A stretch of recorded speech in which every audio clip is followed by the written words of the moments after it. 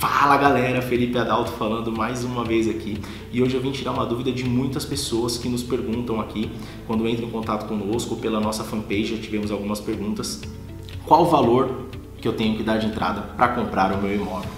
Então vamos lá galera, hoje a Caixa, por exemplo, dentro do programa Minha Casa Minha Vida, ela trabalha com uma entrada mínima de 10% do valor do imóvel, tá?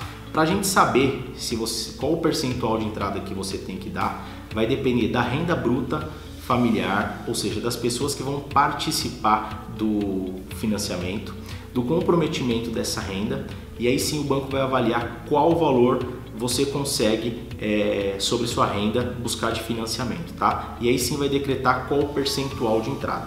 Então vamos lá, por exemplo, dentro do Minha Casa Minha Vida, o mínimo de entrada que se precisa é de 10%.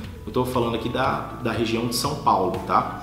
Se for um imóvel fora do Minha Casa Minha Vida, um, por exemplo, um imóvel de 400 mil reais, hoje os bancos pedem no mínimo 20%.